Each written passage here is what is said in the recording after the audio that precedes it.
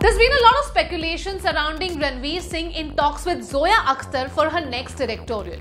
और अगर सोर्सेज की माने तो जोया की नेक्स्ट फ़िल्म एक गैंगस्टर ड्रामा होगी। And she is considering Katrina Kaif to play the lead role in the film तो क्या रणवीर और कटरीना की जोड़ी पहली बार हमें नज़र आएगी on the silver screen in Zoya's film can't wait to find out After the success of Gully Boy, fans were eagerly waiting to hear from Zoya Akhtar about her next film. और ये इंतज़ार अब finally पूरी होती दिख रही है क्योंकि जोया की नेक्स्ट फ़िल्म को लेकर कुछ अपडेट सामने आए हैं सोर्सेस का कहना है कि जोया ऑलरेडी रणवीर सिंह के साथ अपनी नेक्स्ट गैंगस्टर फ्लिक को लेकर डिस्कशन स्टेज पर है And now we are hearing film की लीड के लिए Zoya Akhtar is considering Katrina Kaif's name इस डेवलपमेंट से जुड़े एक सोर्स का कहना है आफ्टर दिल Dhadakne Do and Gully Boy Ranveer will be seen in Zoya's next gangster drama It's again in the dark, gritty space that Gully Boy was. Ranveer has already okayed the film. They were in the process of locking dates when the lockdown happened. Post this, first Ranveer will sort his dates out for his already committed films and then start Zoya's next. The source further added, Katrina and Zoya are great buddies. And when the director narrated her the story, she immediately agreed to be a part of it. The modalities are currently being discussed before both the stars sign on the dotted line.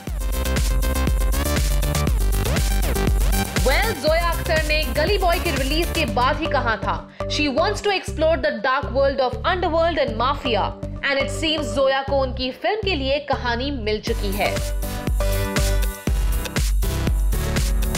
जहाँ तक रणवीर और कटरीना को एक film में साथ देखने की बात है ये जोड़ी पहली बार सिल्वर स्क्रीन पर साथ नज़र आएगी अक्षय कुमार स्टारर सूर्यवंशी में ये दोनों स्टार कुछ पल के लिए ही सही साथ ज़रूर नज़र आएँगे लेकिन फ़िल्म में रणवीर सिंह का सिर्फ़ एक एक्सटेंडेड कैमियो है। अकॉर्डिंग टू सोर्सेज जोया ने लॉकडाउन के बीच अपने फ़िल्म के कॉन्सेप्ट और स्क्रिप्ट को काफ़ी हद तक रेडी कर लिया है। और अगर सब कुछ ठीक रहा तो फ़िल्म की शूटिंग रेज्यूम होने के ठीक बाद वो इस फ़िल्म का ऑफिशियल अनाउंसमेंट कर सकती है।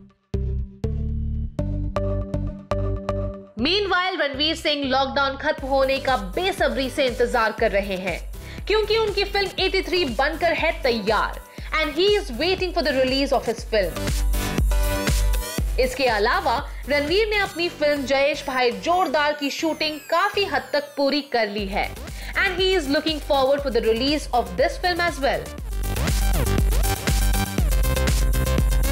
वहीं कटरीना कैफ की फ़िल्म सूर्यवंशी की रिलीज़ डेट भी कोविड 19 लॉकडाउन की वजह से फ़िलहाल पोस्टपोन है।